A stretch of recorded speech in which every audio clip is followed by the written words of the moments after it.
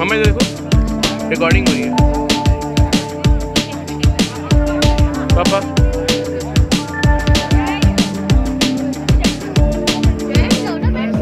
अक्षत।